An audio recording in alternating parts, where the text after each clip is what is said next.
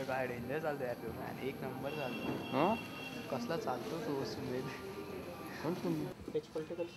हो करतो. बरोबर.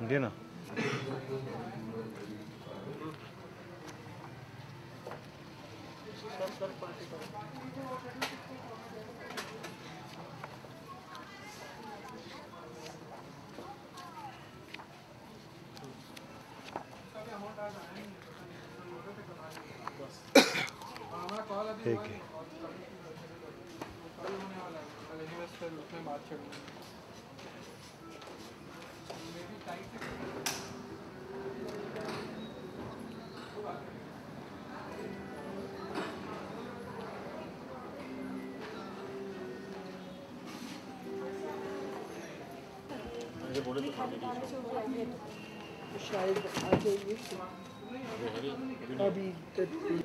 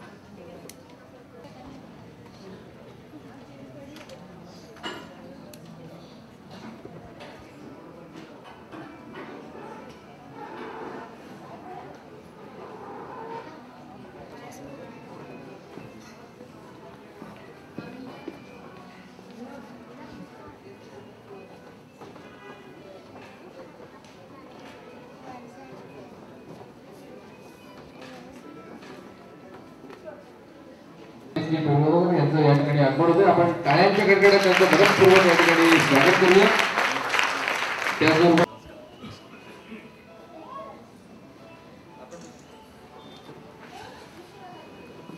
सुस्वागत विविध विषयांवरची उत्तम उत्तम प्रकाश पुस्तक प्रकाशित या सन्माननीय पाहुण्यांचा स्वागतपर गौरव करत आहोत. तेव्हा प्रारंभी मी विनंती करतो की त्यांचा आपण स्वागतपर गौरव करतो आहोत. प्रारंभी ज्यांच्या शुभ असते आजचा प्रकाशन सोहळा संपन्न होणार आहे. ते काहीतरी आपल्या ते लक्षात येईल.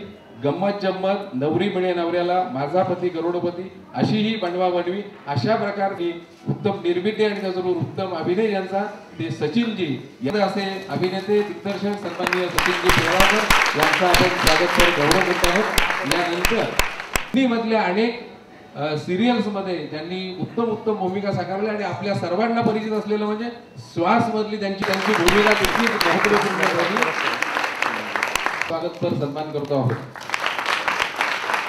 प्रीमियर हे मासिक आणि या मासिकाचं उत्तम संपादन आणि त्याची धुरा आणि जबाबदारी ज्यांच्यावरती आहे असे कार्यकारी संपादक उत्तम पत्रकारिता ज्यांच्याकडून साकारली आणि हिंदी आणि मराठी चित्रपटांवर त्यांनी केला. असे आदरणीय मंदारजी जोशी यांना आपण टाळ्यांच्या रूपाने शुभेच्छा दिल्या आणि प्रकाश कौतुक करूया. आणि यानंतर या सकाळच्या वतीनं प्रकाशनाच्या वतीनं मनपूर्वक स्वागत करत असताना या प्रकाशनाच्या निमित्ताने प्रास्ताविक पर मनोगत व्यक्त करण्याची मी विनंती पाध्ये सरांना करणार आहे. कुलकर्णी या पुस्तकाचे लेख सकाळ प्रकाशनाशी संबंधित आमचे सर्व सहकारी रसिक हो सर्वात प्रथम मला मंदार जोशी यांचं मंदार जोशी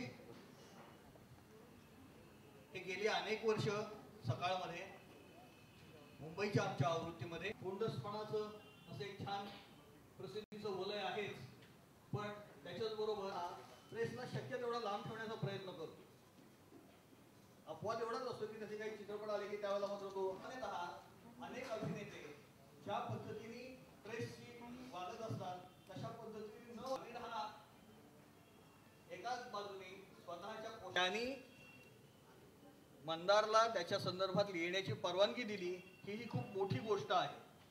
सामान्यतः आमिर सारखी व्यक्ती आपल्याबद्दल काही दुसऱ्या कोणाला आपल्या प्रत्येकाच्या गळ्यातला ताईत होऊन गेलं. त्यांनी जे काम केलं त्या आमिरनी मंदारला एक अट घातली होती की त्याचं चरित्र लिहायचं नाहीये. चरित्र कथनं खूप होतात. आणि किंवा त्याच्या ज्या काही मुलाखती झाल्या त्यांच्या बरोबर आणि त्याच्या संदर्भातली उपलब्ध असलेली माहिती या सगळ्यांच्या आधाराने मंदारनी एक अतिशय ठेवलेलं आहे. ते चरित्र जरी नसलं तरी देखील आमिरचं व्यक्तिमत्व काय आहे आहे हे आपल्याला त्याच्यातून निश्चित कळेल. त्याच्या विचारांची दिशा काय असते हेही आपल्याला कळेल. आणि त्याचबरोबर त्या माणसाच्या माणूस म्हणून असलेल्या ज्या काही मर्यादा असतात त्या काय असतात? त्याच्यातल्या बऱ्या वाईट बाजू ज्या आहेत त्याही काय आहेत कशा आहेत याही गोष्टी त्याच्यामध्ये आलेल्या आहेत. सांगण्याचा मतलब असा की केवळ आमिरचं कौतुक करणं असं कोणतंही काम लेखकाने केलेलं नाही. कौतुक तर आहेच पण कौतुकाबरोबरच त्याच्या ज्या गोष्टींच्या बाबत लेखकाला असं वाटलं की इथे काहीतरी न्यूनता आहे ती देखील त्यांनी न लपवता मांडलेली आहे आणि आमिरनेही त्याला संमती दिलेली आहे हे विशेष. आणि म्हणून मला असं वाटतं की या पुस्तकाचं स्वागत झालं पाहिजे. ते स्वागत करण्यासाठी आपल्याकडे एक महत्वाची गोष्ट अशी आहे की मराठी माणसाच्या बाबतीत नेहमी असं म्हटलं जातं की तो दुसऱ्याचे पाय ओढतो. पण या ठिकाणी आपले हे दोन अभिनेते दिसल्यावर आपण असं म्हणू शकतो की हे पाय ओढ न ओढता त्याला मदत करायला पुढे आलेले त्याच्यामुळे हा वेगळा मराठी बाळा जो दाखवलेला आहे त्याच्याबद्दल या दोघांचंही अभिनंदन केलं.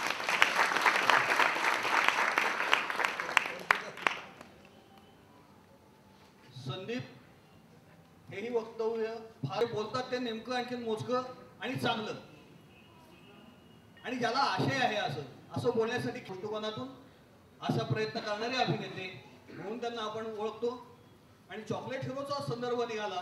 चॉकलेट हिरो म्हणून आजही चॉकलेट हिरोच आहेत. आणि त्याच्याबरोबर अंगामध्ये आम्ही आपल्या बरोबर आहोत आणि आपल्याला बरोबर घेऊन पुढे जाण्याचा आमचा प्रयत्न असतो.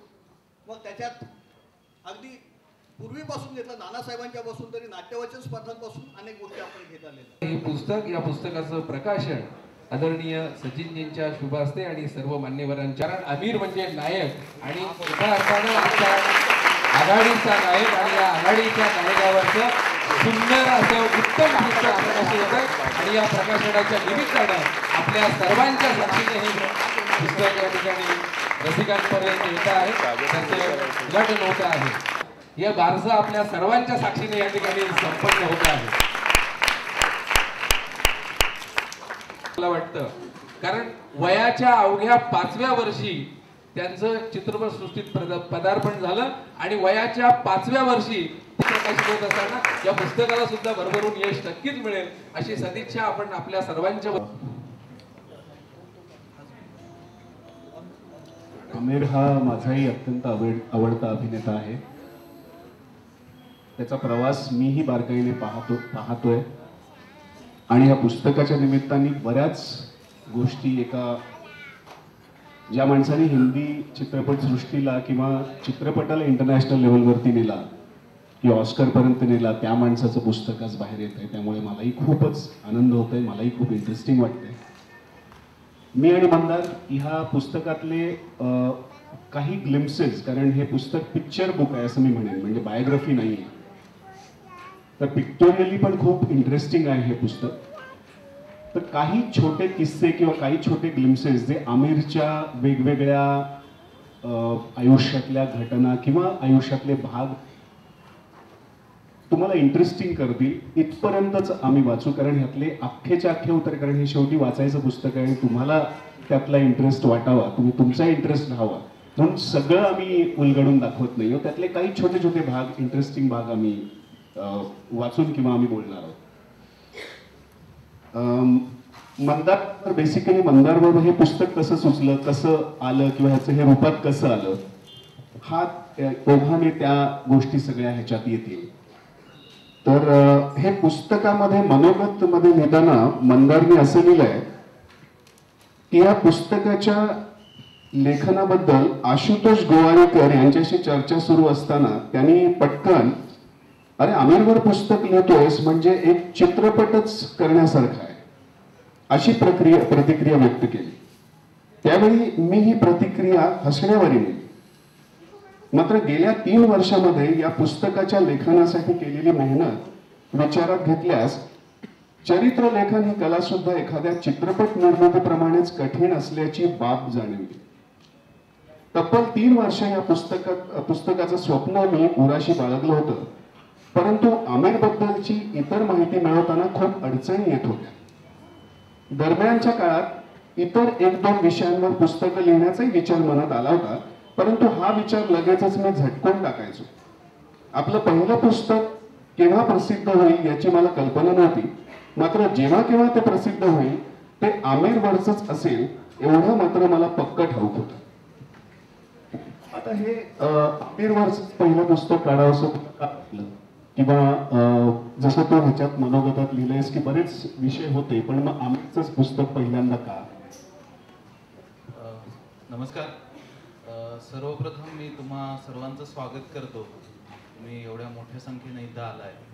आणि गेल्या तीन वर्षापासून मी जे स्वप्न बघत होतो ते स्वप्न आज इथं प्रत्यक्षात साकार झाले आणि तुम्ही त्याचे साक्षीदार आहात त्याचा मला खूप आनंद होतो. तर जो आता संदीपने प्रश्न विचारला त्याचं उत्तर माझं असं आहे की आमिरचे जसे तुम्ही अनेक जण डाय हार्ट फॅन आहात तसा मी सुद्धा होतो अगदी पहिल्यापासून. जे मला आठवतं आठवतंय कयामत से कयामत जेव्हा रिलीज झाला तर मी तो ग्रँड रोडवरच्या अप्सरा थिएटरमध्ये तीन ते चार वेळा बघितला होता. आणि त्याच्यानंतर मी पुन्हा तो आणखी पाच सहा वेळा बघितला. म्हणजे कयामत से कयामत तकच मी किमान दहा ते पंधरा वेळा बघितला असेल. आणि अशी माझी प्रोसेस सुरू झाली. समहाऊ दोन तीन वर्षांनी मी पत्रकारितेत आलो. सिनेमाच्या बद्दल मी लेखन करायला सुरुवात केली.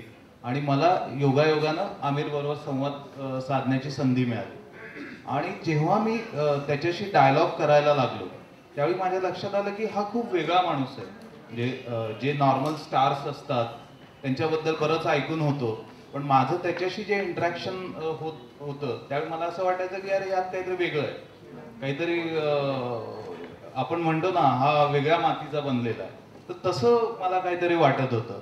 आणि त्या ह्याच्यामुळं मी त्याला भेटण्याचे सारखी एक ओढ असायची मनात आणि तशी संधी मिळत गेली त्याला भेटत गेलो आणि त्या भेटीतून काही चांगल्या मुलाखती माझ्याकडे जमा झाल्या होत्या. पण अ, पादेसाहेबांनाही ठाऊक असेल पेपरमधल्या जागेच्या मर्यादेमुळे सगळ्याच मुलाखती म्हणजे पूर्ण शब्दांनी आम्हाला देता येत नाहीत. त्यामुळे ज्या काही आमिरच्या मुलाखतीतल्या काही मुद्दे गाळले होते ते सुदैवाने त्या नोट्स माझ्याकडे होत्या सगळ्या. त्या मी मध्यंतरी गोळा केल्या. आणि त्या गोळा केल्यानंतर मला त्या मी सलग पुन्हा वाचायला घेतल्या. त्यावेळी माझ्यासमोर आमिरचं एक वेगळंच चित्र आलं. की एखादा अभिनेता सिनेमाकडे कोणत्या नजरेने बघतो हे सगळं मला खूप इंटरेस्टिंग प्रोसेस वाटली. पण नंतर असं लक्षात आलं की हेच जर मी फक्त पुस्तक रूपातून मांडलं तर ते कितपत वाचकांना अपील होईल. त्यामुळे मी त्याच्या इतर गोष्टींचाही पाठपुरावा सुरू केला. आणि त्याच्यातूनच हे पुस्तक लिहिण्याची कल्पना सुचली आणि ते पुस्तक सुरू केलं. तुझ्याच लेखनातला म्हणजे तुझ्याच इंटरव्ह्यू मधला एक उतारा छान आहे की ज्याच्यामध्ये आमिरचं एक व्यक्तिमत्व उभं राहतं.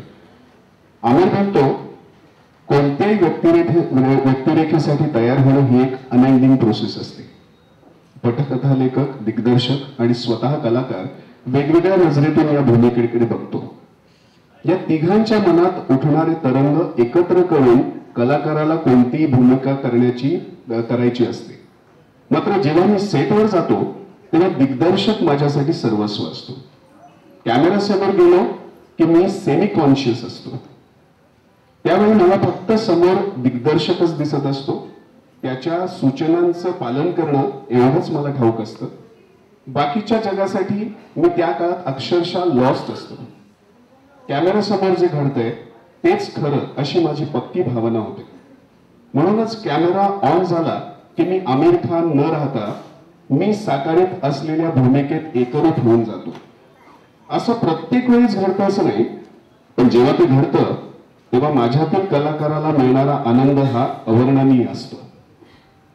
हे आमिर आपल्या कामाबद्दल बोलतो. आमिरचं इंटरेस्टिंग म्हणजे बऱ्याच लोकांना माहिती नसेल की म्हणजे मला आमिर काय इंटरेस्टिंग वाटतो हे अं, मंदारेच्या पुस्तकात आहे की त्याचंही थिएटरचं बॅकग्राऊंड आहे. त्याचाही एक अभिनेता बनण्याचा एक वेगळा शोध आहे. जो खूप थिएटर करणाऱ्यांना किंवा एक मोठा ऍक्टर होण्यासाठी जे काही प्रोसेस लागते त्या प्रोसेसच्या फार जवळीचा आमिर आहे असं दिसतं या पुस्तकातून. त्यातलं एक हे मी वाचून दाखवतो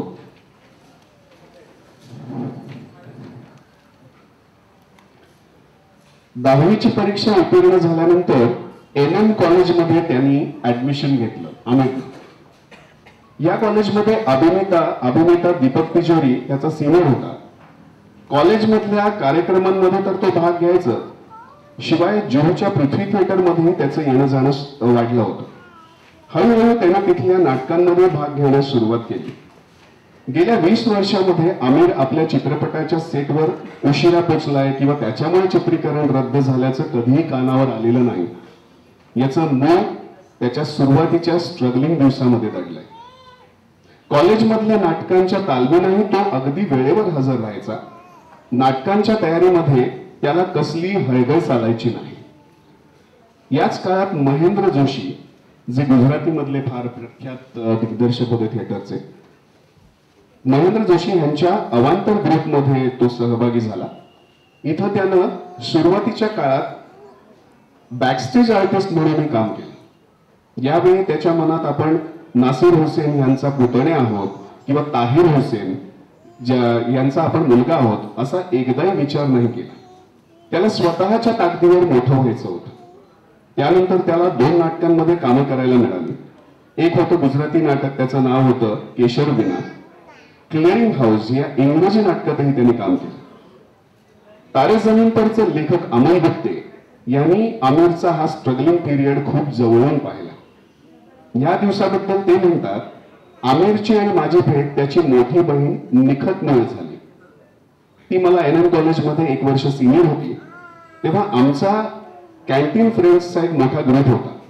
त्यात मला निखत भेटली असावी आणि तिने आमिरची भेट घालून दिली.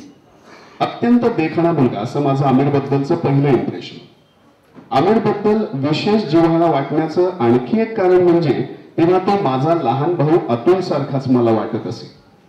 या काळात मी पश्चिम रंगीरो नावाचं एक गुजराती नाटक केलं होतं. त्या नाटकात माझा लीड रोल होता तर आमिर आणि अतुल या दोघांचाही त्यात छोट्या भूमिका होत्या. या नाटकाच्या तालमीच्या निमित्तानं आमिर माझ्या लक्षात राहिला. आमिर आणि अतुल या नाटकाच्या स्टेज उभारणीचं काम करायचे. अगदी बांबू बांध बांधण्याचं काम काम करताना मी आमिरला पाहिलंय. विशेष म्हणजे सकाळी ते बांबू बांधायचे आणि रिहर्सल झाली. रिहर्सल झाली की हे बांबू काढण्याचं कामही या दोघांचंच असायचं. बांबू उतरण्याची वेळ हे नाटकाचे दिग्दर्शक महेंद्र जोशी ठरवायचे. कधी कधी सकाळी सातला बांधलेले बांबू उतरण्यासाठी रात- रात्री एक दोनही वाजायचे. मात्र एवढा उशीर होऊनही आमिरकडून कधीही मला तक्रार ऐकायला मिळाली नाही. पश्चिम रंगीरो या पश्चिम रंगारोची मोस्ट डेडिकेटेड टीम असं मी आमिर आणि अतुलचं वर्णन करेन. म्हणजे मला असं वाटतं इथे आमिरचं डेडिकेशन आधीपासूनच दिसतं नाही का? बरोबर.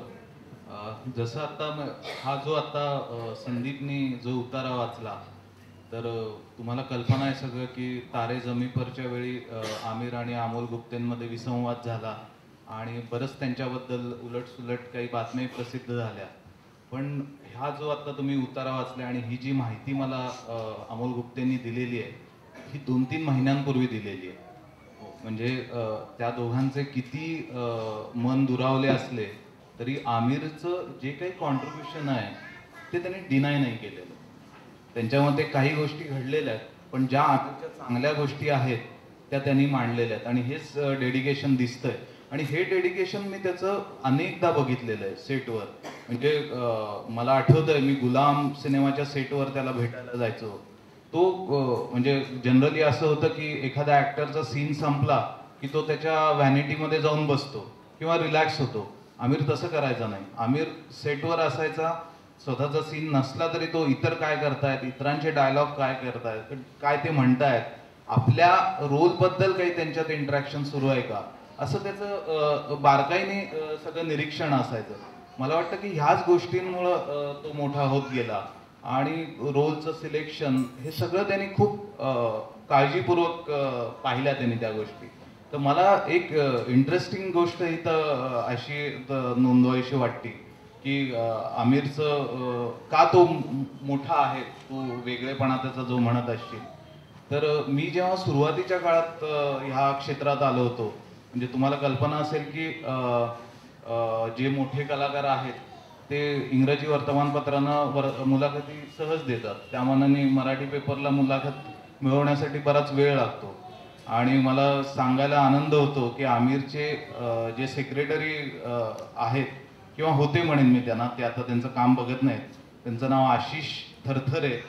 ते आपल्याकडं आहेत आत्ता इथं उपस्थित. मी आशिषला विनंती करतो त्यांनी हात वर करावा. तर सांगायचा मुद्दा इथं असा आहे की आशिषने आपलं थरथरे हे आडनाव लपवलं होतं तेव्हा. तो फक्त आशिष हे नाव लावायचा. तर मला मला उत्सुकता होती म्हणजे मला आठवत आहे अजूनही. मी महिनाभर आशिषकडं मुलाखत देण्यासाठी मागणी करायचो आणि आशिष काही मला वेळ द्यायचा नाही. तर एक दिवशी मला असं वाटलं की आपण आता आमिरची मुलाखत घ्यायलाच पाहिजे.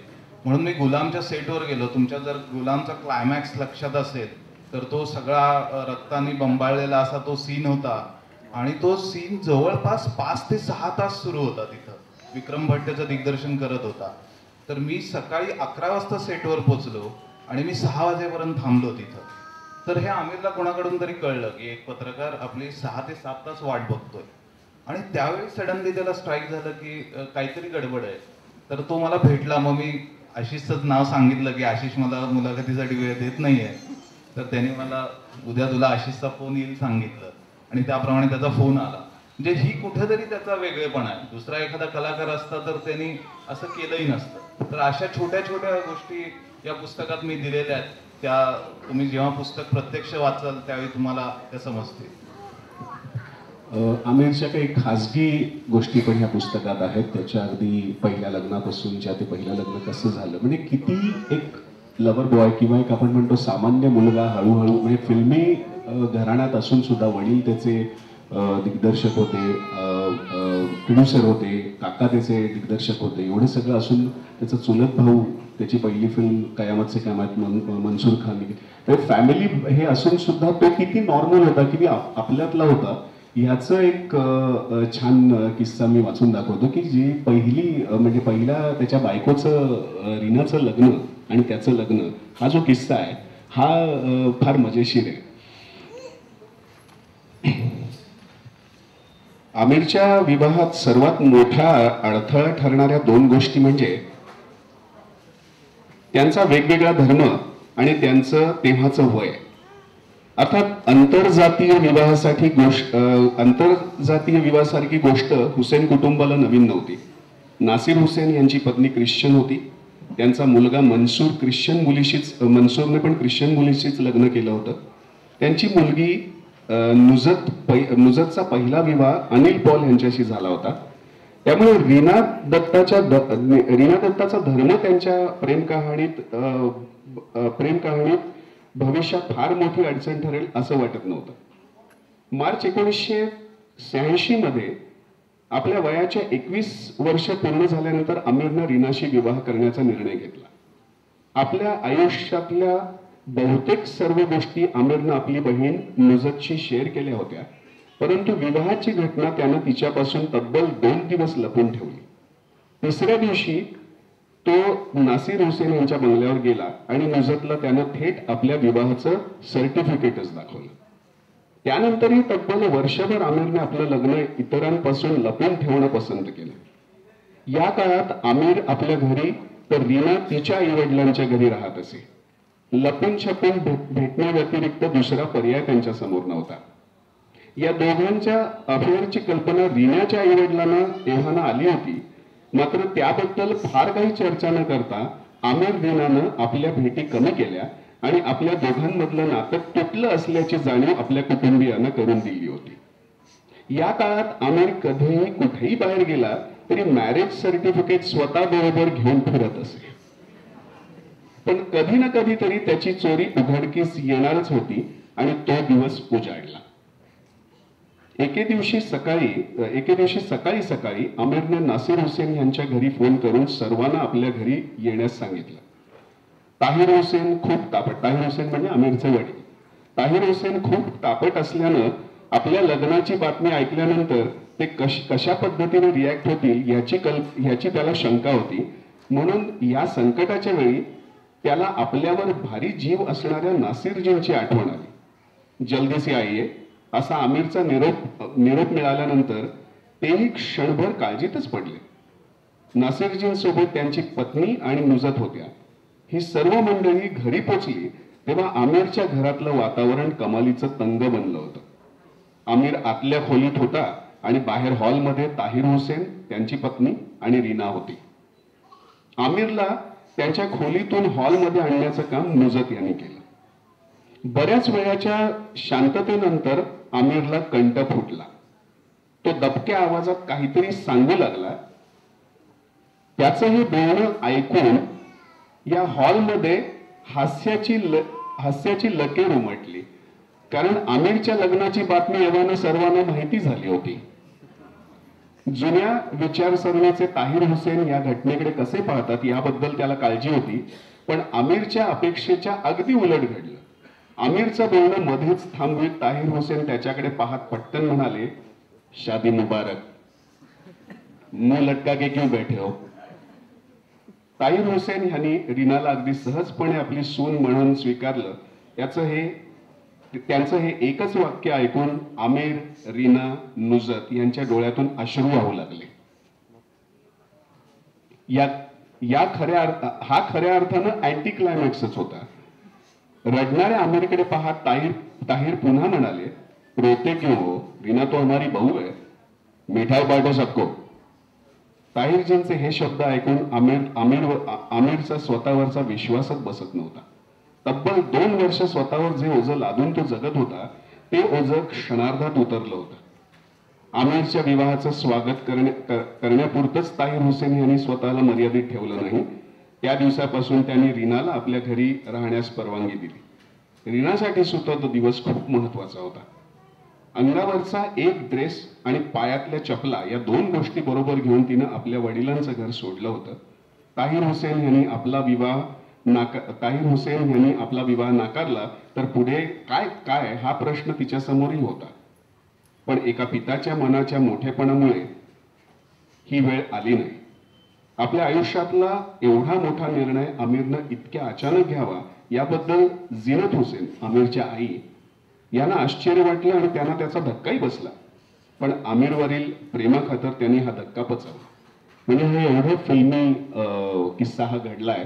आमिरच्या आयुष्यात. आणि ते फार छान एक रंजक रित्या लिहिलं आहे तर अशा काही गोष्टी म्हणजे हे तुला कशा सुचल्या? म्हणजे पुस्तकामध्ये जनरली काय म्हणतो आपण की एक मोठा एवढा स्टार आणि आपण त्याच्यावर खूप दबून जातो की आपण असं कसं? पण हे इतकं असे मोमेंट्स तुला कसे काय सुचले किंवा कुठून सुचले? नाही मुळात आमिर आणि रीनाचं जे नातं आहे ते खूप छान नातं होतं. आणि त्याला खूप चांगल्या शेड्स होत्या. हे मी काही जणांकडून ऐकलं होतं की त्यांची जी लव्ह स्टोरी होती ती खूप वेगळी होती. त्याला खूप वेगवेगळे पदर होते त्यात वेगवेगळा रंग होता हे सगळं मी ऐकलं होतं. पण ज्यावेळी मी त्याच्यामागचा त्याच्या मागचा शोध घ्यायला लागलो त्यावेळी जी आता तुम्ही माहिती ह्याच्यात वाचली आहे ती सगळी मला एक एक त्यातले काही पॉईंट्स मिळत गेले. आणि ते सगळे मी इ- इथं एकत्र गुंफण्याचा प्रयत्न केला आहे हे बेसिकली मी हे मांडलं ह्याच्यासाठी जे नंतर आमिरच्या आयुष्यात जे काही वादळ आलेलं आहे त्या वादळापूर्वीचं त्याचं आयुष्य हे खूप वेगळं होतं. म्हणजे हे जर तू हा जो तुम्ही किस्सा ऐकलाय हा आमिर खान सुपरस्टार अस असतानाचा हा किस्सा नाही आहे आमिर खान हा तुमच्या आमच्यासारखाच एक सर्वसामान्य माणूस होता. आणि तो किती साधा होता सरळ होता मनाने स्वच्छ होता. अजूनही तो आहे.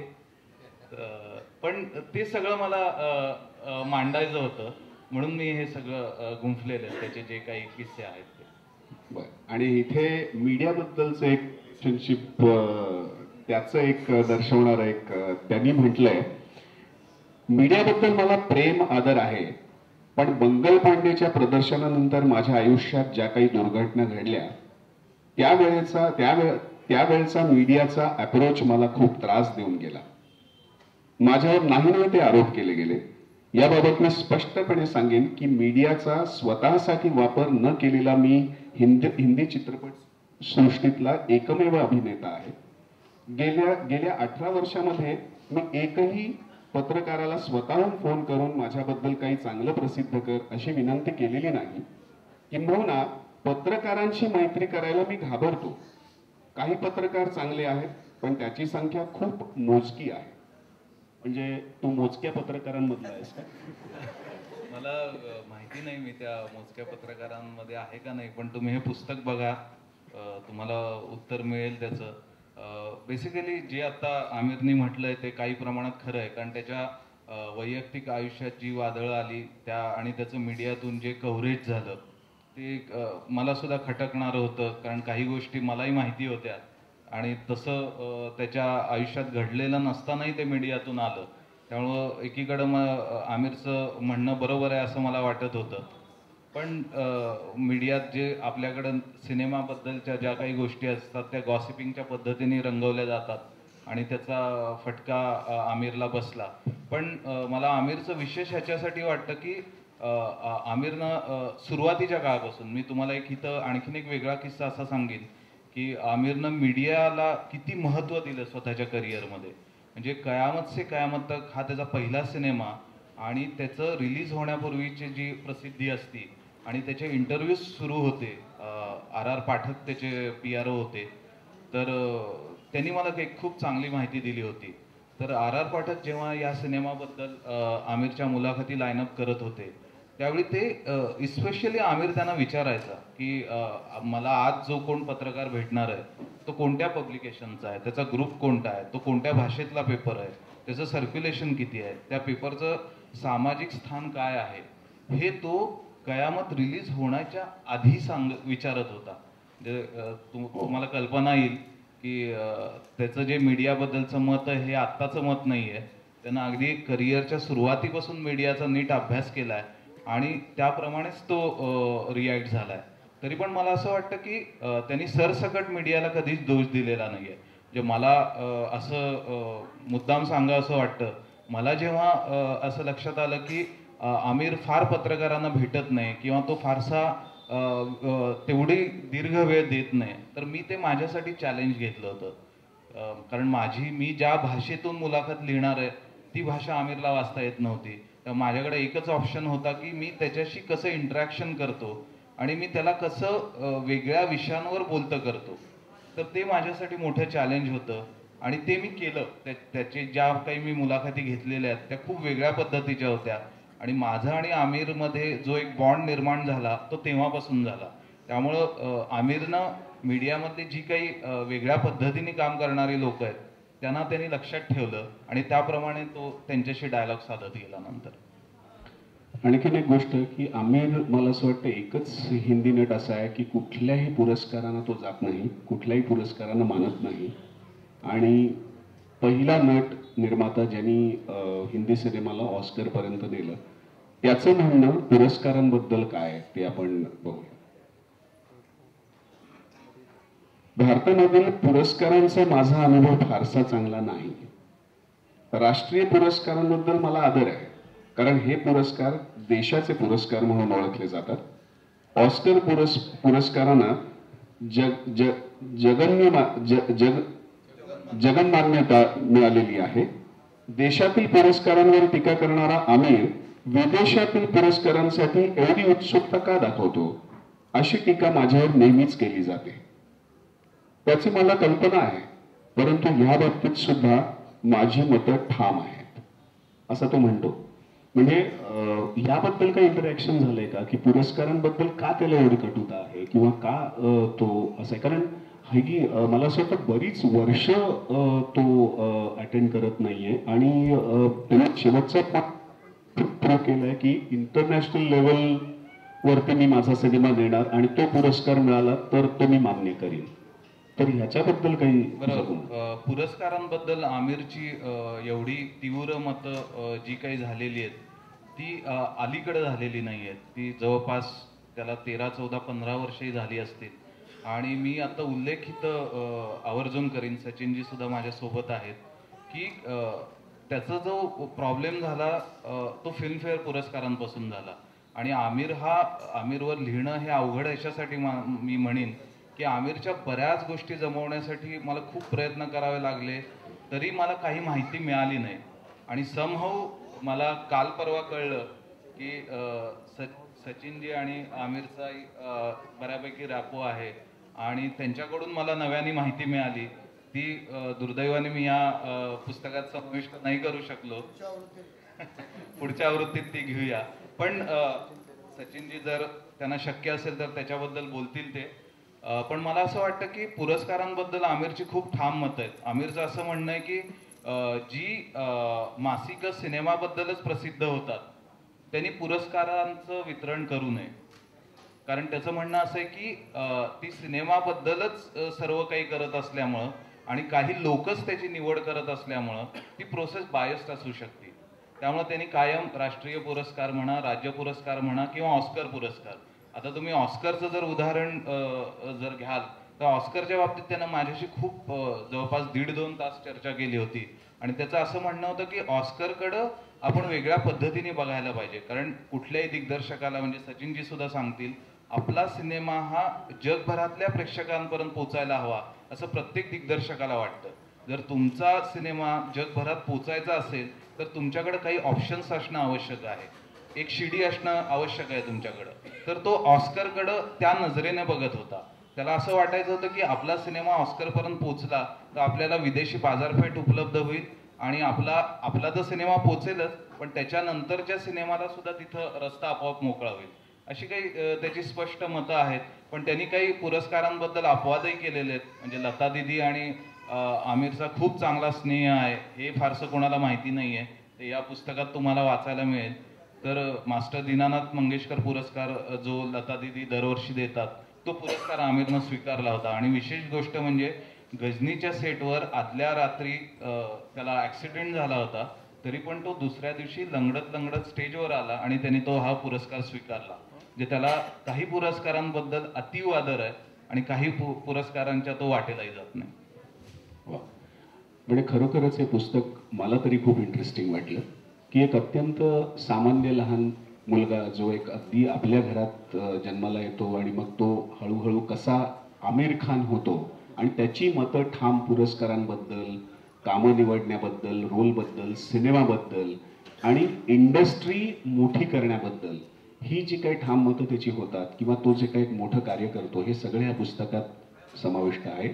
त्यामुळे मला पर्सनली खूप इन्स्पायरिंग हे पुस्तक वाटलं. मला असं वाटतं सगळ्यांनी हे पुस्तक वाचावं. सगळ्यांनी कारण जरी दुसऱ्या व्यवसायातले जरी असले तरी पर्सनॅलिटी डेव्हलपमेंट म्हणजे काय? हे या पुस्तकातनं येतं. तर मला असं वाटतं शेवटी जर मंदारला आणखीन काही बोलायचं असेल तर पण बाकी मला असं वाटतं मी उत्सुकता आम्ही पूर्व बऱ्यापैकी अं, वाढवली लोकांची पुस्तकं वाचावं असं माझं मत आहे.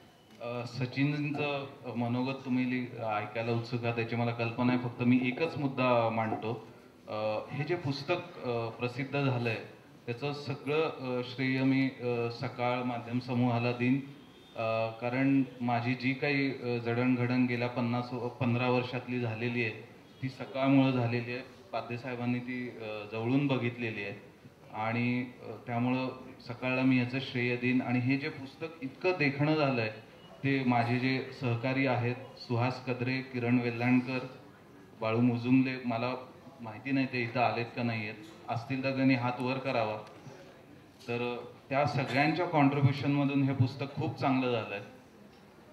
सुहास आहेस तू? तर सुहाससाठी सगळ्यांनी एकदा टाळ्या वाजव्या असं मला वाटतं म्हणजे तुम्हाला कदाचित कल्पना येणार नाही. खरं तर हे पुस्तक जानेवारी महिन्यात आम्ही प्रकाशित करणार होतो. पण एक नंतर असा विचार आला की आमिर मार्केटिंगसाठी खूप फेमस आहे. तो त्याचा सिनेमा गरम करतो तर आपण आपण आपलं पुस्तक का गरम करू नये? म्हणून मग आम्ही ते त्याच्या रिलीजच्या आधी प्रकाशित करण्याचा निर्णय घेतला. पण त्यासाठी आमच्या हातात दिवस कमी होते. पण सुहासनी आणि त्याच्या टीमने अतिशय चांगलं काम केलेलं आहे. आशुतोष रामगीर यांचाही मी उल्लेख करीन. संतोष शेणई या सगळ्यांची मला खूप मोठी मदत झाली आहे. आणि तुम्ही जेव्हा हे पुस्तक बघाल त्यावेळी त्या सगळ्यांचे श्रम तुमच्या लक्षात येतील. पोटी राहिला. त्या सर्व प्रेमळ माझ्यासमोर बसलेल्या माझ्या मित्रांना मित्रांचं सकाळतर्फे संध्याकाळी मी स्वागत करतो.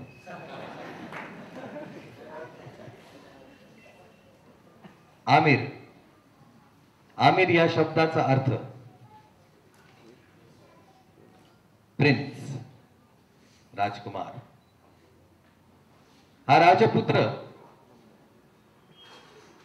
जरी राजयोग घेऊन जन्माला आला नसला माईक काढून बोलू का चालेल? जास्त बरोबर हा ठीक आहे. जाईल आवाज जाईल. राजपुत्र हा राजयोग घेऊन जन्माला जरी आला नसला तरी स्वतःच्या कर्तबगारीनं या राजपुत्रांनी नेहमीच राजयोग गाठलेला आहे असं मला वाटतं.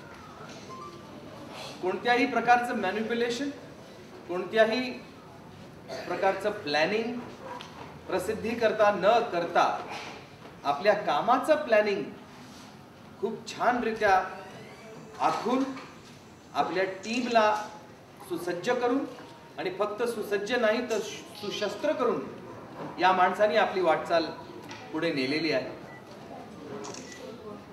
आमिर खानला आमिर खान म्हणून ओळखलं जाण्याकरता सर्वात आधी मी आभार मानेन रसिक प्रेक्षकांचं.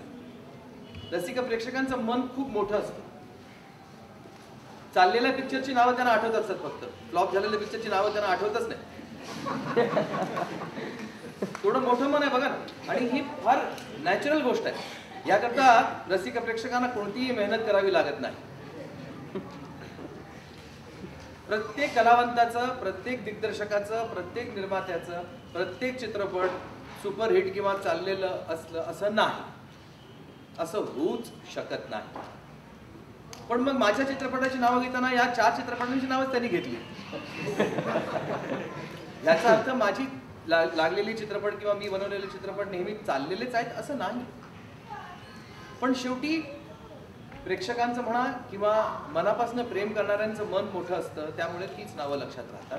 आणि त्याचमुळे माणूस मोठा होतो. त्यामुळे मला असं वाटतं प्रेक्षकांचा त्यात सिंहाचा वाटा असतो.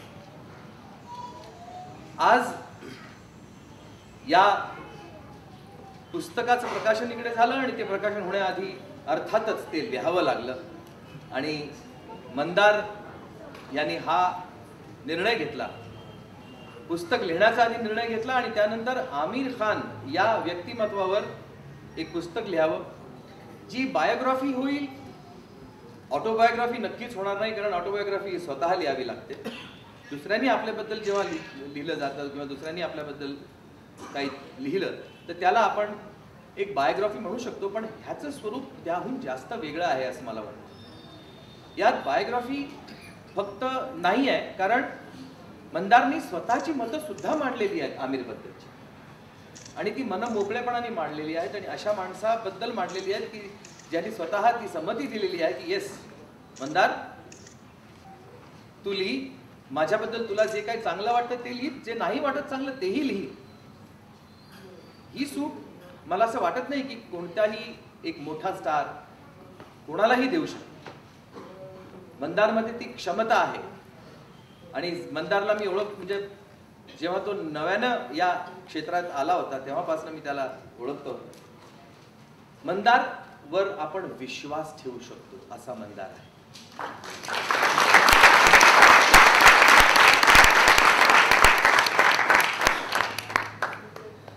आणि ह्याचं उदाहरण ह्याचं एक मी तुम्हाला छोटस तात्पर्य देऊ शकतो की मंदारनी माझ्या चि- प्रत्येक चित्रपटाकरता चांगलं लिहिलंय असं नाही हा? काय काय पिक्चर्स पण ते करत असताना सुद्धा त्यांनी चित्रपटाच्या बाहेर आपला हात जाऊ दिला नाही. ते सर्वात महत्वाचं. त्या चित्रपटाबद्दल मग सचिन आपला आहे की आपला नाही ही गोष्ट अलायचा आपला आहे ना? का नाही आहे सचिन? पण त्यांनी निर्माण केलेली ही जी काही निर्मिती आहे किंवा ही जी कलाकृती आहे त्याबद्दल स्वतःचं मत त्यांनी मांडलं. काही काही ठिकाणी असं लिहिलं की मला हा चित्रपट आवडला नाही. याचं कारण हे हे हे हे. पण ते लिहित असताना सचिन त्या सचिनच्या वैयक्तिक जीवनात सचिन काय करतो आणि त्यांनी काय केलं पाहिजे याकडे त्याचं लक्ष कधीही गेलं नाही किंवा त्यांनी कोणाचं लक्ष तिथे जाऊही दिलं नाही. तर त्यामुळे मला असं वाटतं समीक्षक हा अत्यंत महत्त्वाचा असतो.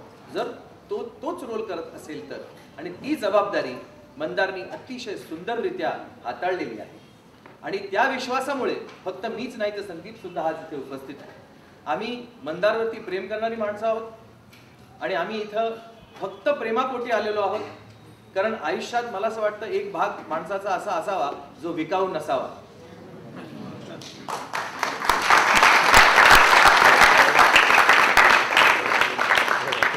मंदारची ही पहिली अशी वेळ आहे की ज्यात ज्यांनी पुस्तक छापलेलं आहे पुस्तक लिहिलेलं आहे आणि ते सकाळनी इतक्या सुंदर त्या छापून आणलेलं आहे. बघा म्हणजे इट इज सो कलरफुल की हा फोटो आमिरचा आमिर स्वतः पाहिल पाहिल तरी सुद्धा प्रेमात पडेल असं मला वाटतं. कारण अतिशय सुंदर. आणि आज सुद्धा जे काही लिहिलेलं आहे ते सुद्धा या चित्रा इतकंच सुंदर आहे असं मला तुम्हाला सर्वांना सांगायचं हा एवढंच फक्त सांगायचं आहे की या पुस्तकाची जी किंमत आहे ती थोडीशी जास्त आहे. तर त्यामुळे आपल्यासारखी माणसं ह्याला अफोर्ड करू शकतील पण ह्याची अजून एक काहीतरी अशी असं काहीतरी करावं जे सर्वसामान्य माणसाला अफोर्ड करता येईल. आमिर आणि मंदारनी केलेली ही मेहनत जास्तीत जास्त लोकांपर्यंत पोहोचावी ही इच्छा आहे म्हणून हे फक्त मी माझी इच्छा प्रकट करून दाखवलेली आहे. आमिरला पुरस्काराबद्दल काहीतरी त्याचं एक बॅक बॅकफूटवरती जाणार आहे असं म्हणतात. पण मी असं म्हणतो की नाही. पुरस्काराबद्दल नसावं पारितोषिकाबद्दल असावं असं मला वाटतं. कारण पारितोषिक आणि पुर- पुरस्कार या दोनमध्ये फरक आहे तफावत आहे. पुरस्कार हा आपण काहीतरी केल्यानंतर आपल्याला मिळतो. आणि तो जर आमिरला मिळाला तर तो कधीच नाही म्हणणार नाही असं मला वाटतं. पण पारितोषिक हे कोणाच्या तरी मताने कोणाला तरी दिलं जातं. आणि काही काही ठिकाणी तर अवॉर्ड फंक्शनमध्ये असं असं घडतं की नावं लिहिलेली नसतात. आले कोण कोण आहेत? ही मंडळी आली आहे का? मग त्यांना अवॉर्ड द्या. त्यांना तो ते पारितोषिक त्यांना द्या. अशा पद्धतीनं खिरापत वाटल्यासारखं जर आपल्याला पारितोषिक वाटली जाणार असतील आपल्या इंडस्ट्रीमध्ये तर त्याची किंमत का करावी आणि कोणी करावी आणि कशासाठी करावी? मा माझं तर म्हणणं आहे की आमिरचं जे काही मत आहे या पारितोषिकांबद्दल त्याला मी सहमत आहे. आणि अशी अशीच आमिर खान हा हे जे व्यक्तिमत्व आहे ते काम करत असताना कधी स्टार नसतं. मनापासून करतो. मला कधी म्हटलं होतं की मी अरे सचिन मी जेव्हा मला कोणी क्रिकेट खेळण्याबद्दल विचारतं तेव्हा मी कधी नाही म्हणू शकत नाही. म्हटलं हा म्हणून बहुतेक तू दा- देवानंद साहेबांना नाही म्हटलं नाहीस. कारण त्याचा अव्वल नंबर नावाचा एक चित्रपट होता त्यात क्रिकेटवरती होता आणि आमिर खान त्याचे हिरो होते. तो पिक्चर सुपर डुपर फ्लॉप गेला होता. पण कथा माहीत असून सुद्धा आमिरनी त्यांना नाही म्हटलं नाही कारण तो क्रिकेटवर होता. तर असे अनेक अशा अनेक गोष्टी आहेत आमिर बद्दलच्या आमिरला मी पहिल्यांदा पाहिला तो यादव की बाराच्या चित्रपट. त्यात आमिरनी छोट्या तारीखचं काम केलं. तेव्हा मला असं वाटलं की हा मुलगा तारीख लहानपणी खूप चांगलं काम करायचं. नंतर मी आमिरचं पिक्चर पाहिलं. कयामत से कयामत तक आणि आमिरला भेटलो जेव्हा मी सांगितलं म्हणजे तुम बचपन में वैसे ही दिखते थे जैसे अभी दिखते हो? तो बोला नहीं नहीं सचिन मैं तो बचपन में बहुत खराब दिखता था. मैंने कहा अब, अब कहाँ अच्छे दिखते हो?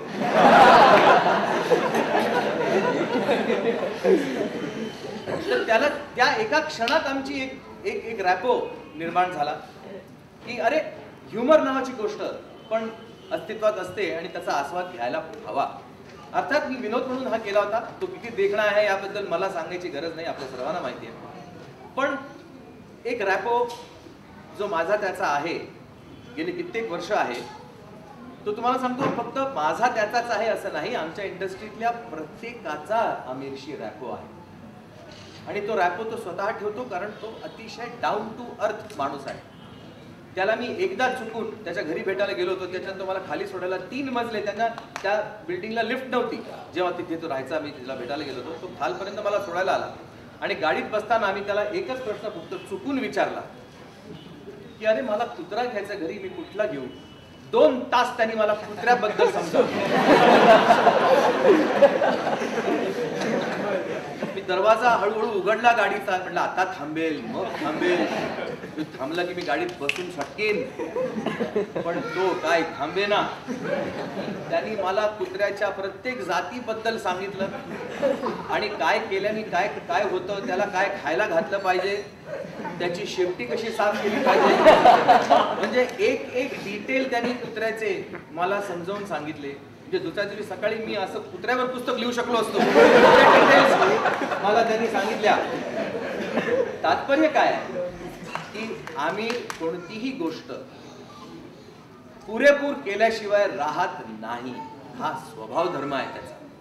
प्रत्येक गोष्टीच्या डिटेलमध्ये घुसून जिथपर्यंत ती आत्मसात करता येत नाही तिथपर्यंत त्या गोष्टीला हात घालायचा नाही ती गोष्ट कधी करायला जायची नाही. इतकी निष्ठा एका माणसामध्ये असणं अत्यंत इम्पॉर्टंट आहे. आणि जेव्हा जेव्हा मला त्याच्या पहिल्या लग्नाची जी काय दुराव दुरावा निर्माण झाला त्यानंतर मीडियाने जे जे काय लिहिलं जे मी वाचलं त्यावर मला अजिबात विश्वास बसला नाही. ह्याचं कारण त्याची सिन्सिअरिटी तो माणूस वैयक्तिकरित्या स्वतःच्या स्वभावानं जर सिन्सिअर इतका असेल तर तो अशा कुठल्याही गोष्टी करूच शकत नाही. आणि त्यामुळे दूर आम्ही खूप दररोज भेटत जरी नसलो आम्ही जरी महिन्यातनं किंवा वर्षातनं भेटत जरी नसलो तरी सुद्धा त्या माणसावर सुद्धा माझा विश्वास तितकाच आहे जितका मंदारवर आहे. तुम्हा सर्वांना जे आता मी जाहीर करतो की आमिर हे हे पुस्तक प्रकाशित झालेलं आहे आणि तुम्हा सर्वांना विनंती आहे की हे पुस्तक स्वतः विकत घ्या वाचा आपल्या जवळच्यांना गिफ्ट म्हणून पण द्या नवीन विकत घेऊन.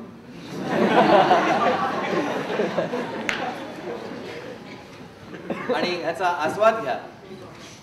मंदार तुझ्याबरोबर आम्ही आहोत. ही तुझी पहिली कलाकृती आहे. अनेक पुस्तकं तुझी अशी छापून येऊ दे. माझ्या सरांनी आशीर्वाद दिलेलाच आहे. मी एक या मराठी चित्रपटसृष्टीचा किंवा भारतीय चित्रपटसृष्टीचा एक एक छोटासा भाग म्हणून या चित्रपटसृष्टीतर्फे सुद्धा तुला शुभेच्छा देतो. धन्यवाद.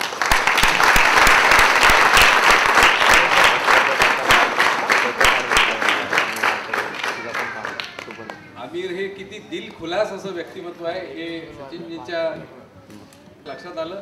त्यांच्या कर्तृत्वाची वाटचाल आणि त्यांच्या व्यक्तित्वाचे काही पैलू या ठिकाणी त्यांच्या खुमासदार शैलीमध्ये उत्तमरित्या त्यांनी मांडले आणि त्याचबरोबर वाचन संस्कृती वाढावी त्यासाठी